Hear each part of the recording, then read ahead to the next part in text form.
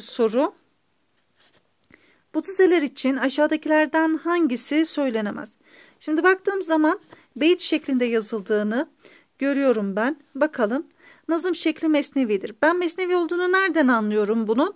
A, A, B, B, C, C diye ben bunu kafiyelendirebiliyorsam neydi bu? Mesneviydi. O zaman mesnevidir diyebilirim. Fabula özelliği göstermektedir demiş.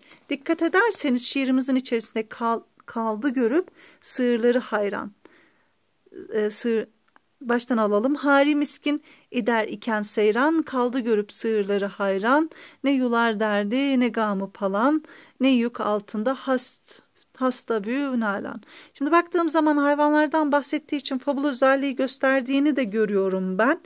Ee, bunu da eliyorum o zaman. Anlatmaya dayalı özellikler içermektedir. Mesneviler neydi? Uzun hikayelerdi aslında şiirleştirilmiş hikayelerdi. Evet o yüzden bunu da kabul edebilirim. Eleştirel yönü ağır basmaktadır. E, fabullar neydi? Eleştirerek hayvanlar üzerinden birini eleştirdikleri için eleştiri de vardır diyebilirim.